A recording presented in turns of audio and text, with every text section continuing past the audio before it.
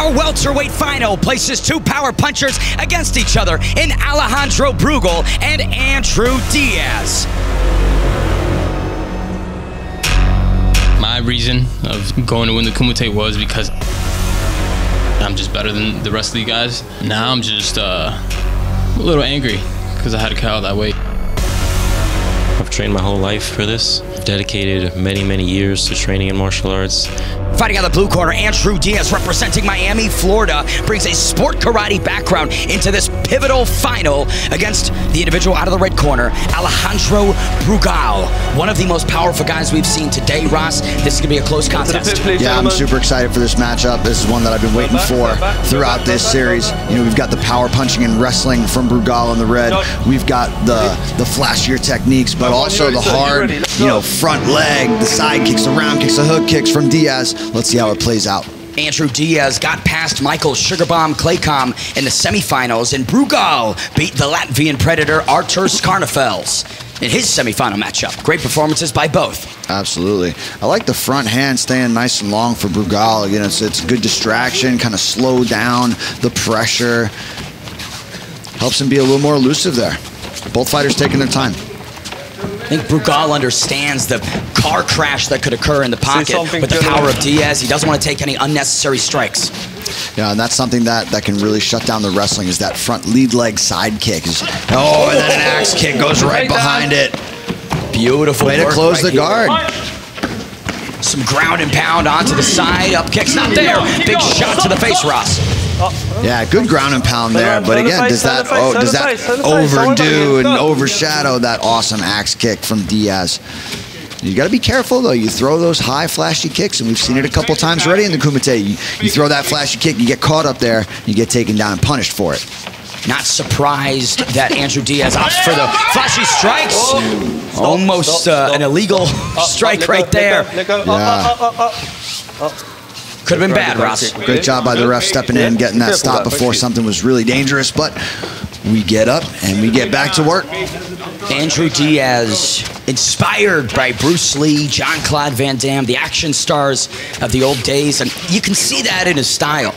Big time, yeah. He's got the bounce, he's got the head movement, he's throwing the punches and the kicks. But Brugal, I mean, as powerful as they could possibly come.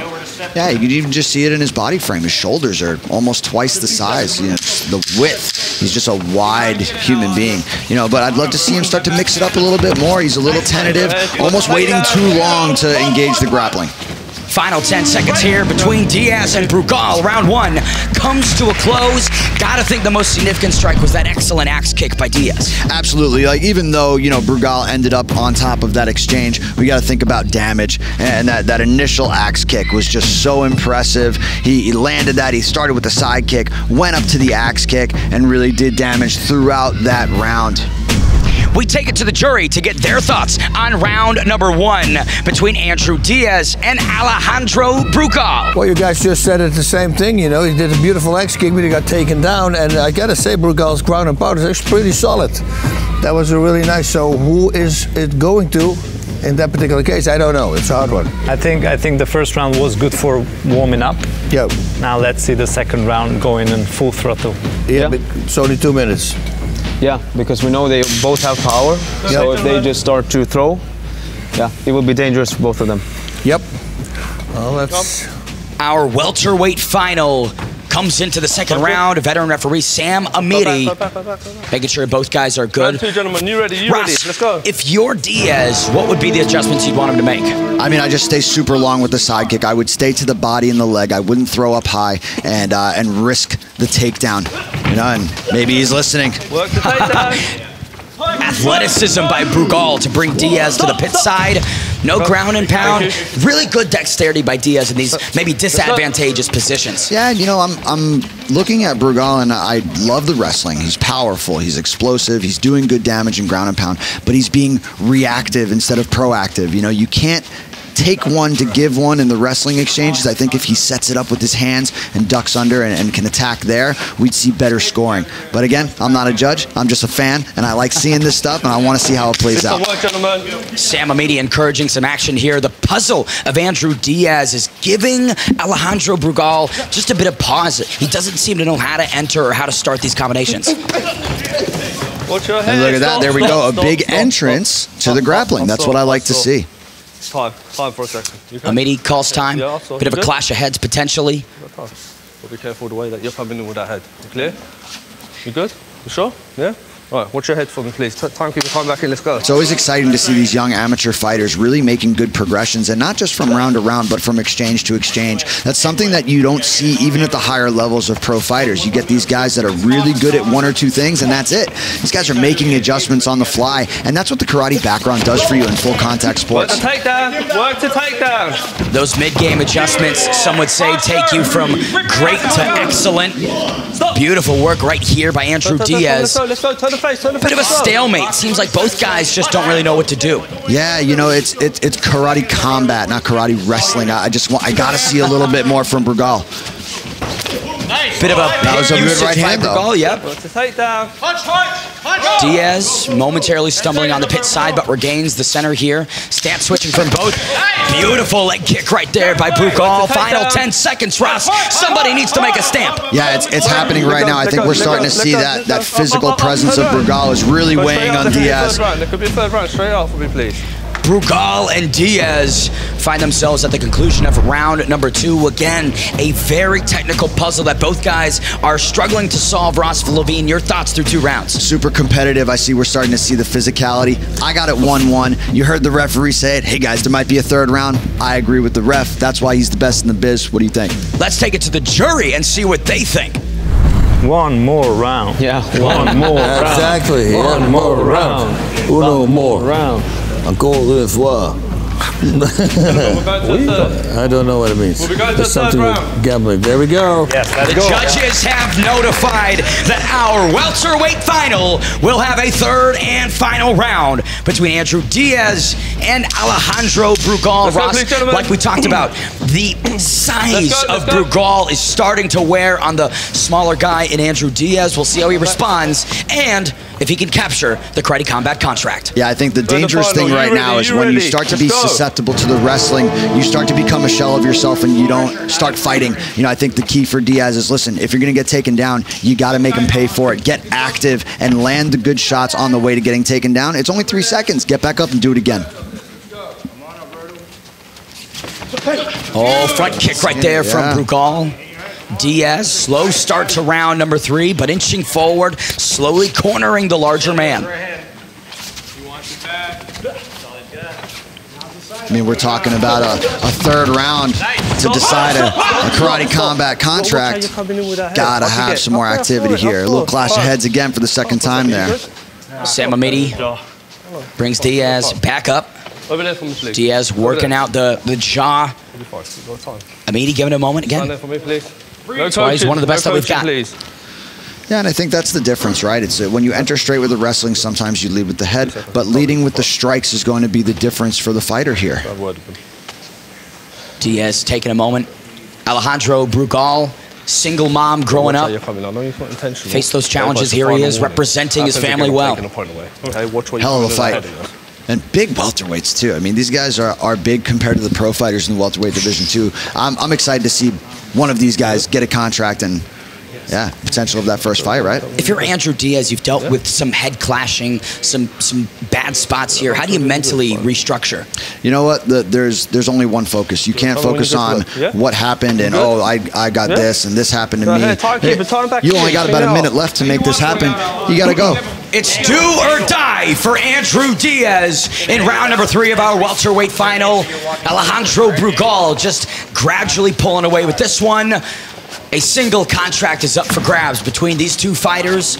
Ross, once again, trying to figure out the entries. Yeah, yeah. This is not the time to be figuring anything out. You got to get active, and that's what it is. It's all about activity.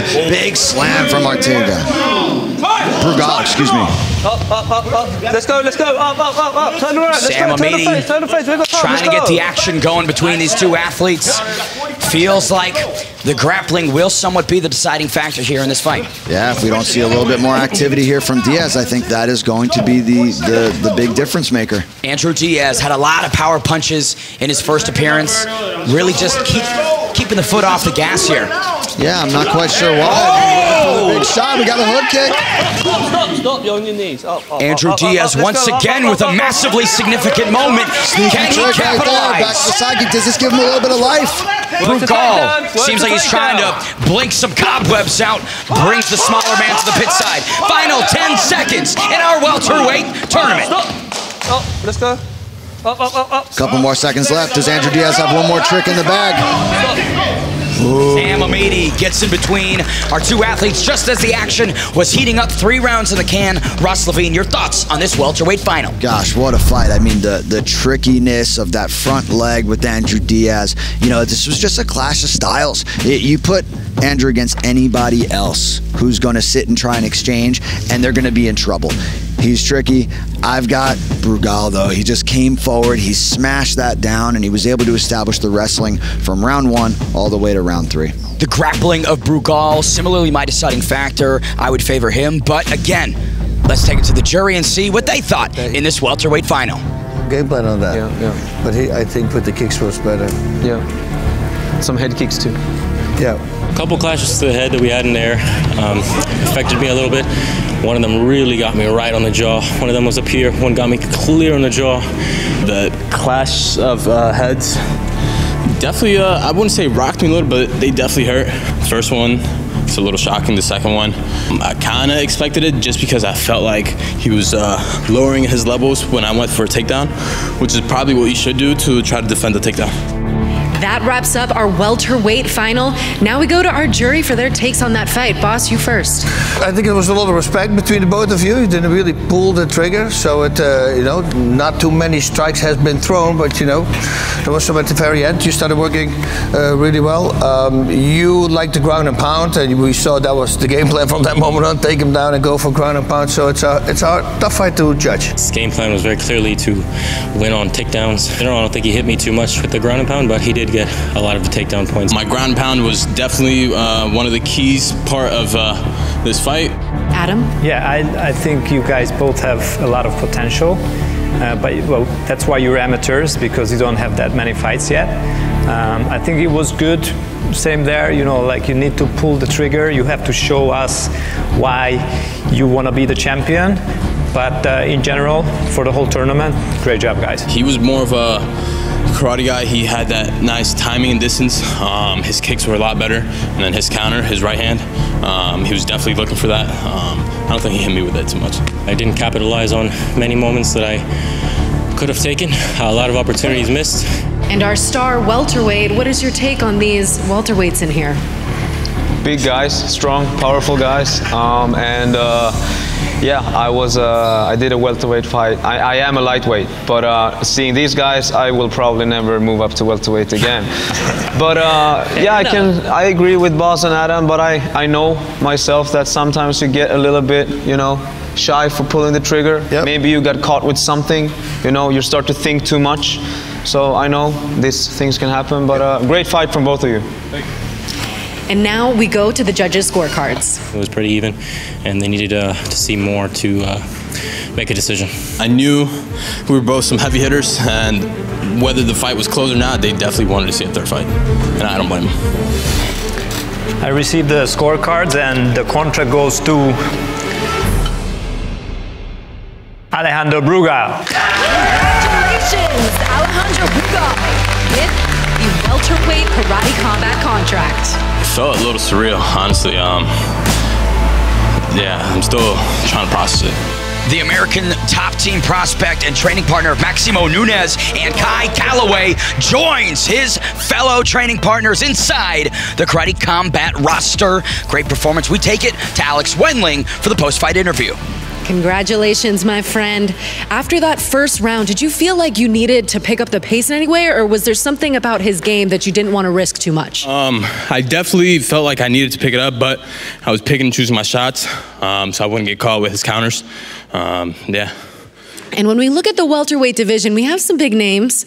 We got Raymond Daniels in there, Shaheen Adamov, and now uh, Samuel Ericsson is not identifying as a welterweight. He just claims lightweight completely. So when you look at the names in the welterweight division, what are your thoughts? They're beatable. They all have holes, and with enough preparation in the right camp, I can take them. Well, congratulations on now receiving your karate combat contract. We can't wait to see what's next. Alejandro Brugal, welcome to the professionals. Thanks for watching. I'm Layla, and if you liked what you just saw, make sure you subscribe.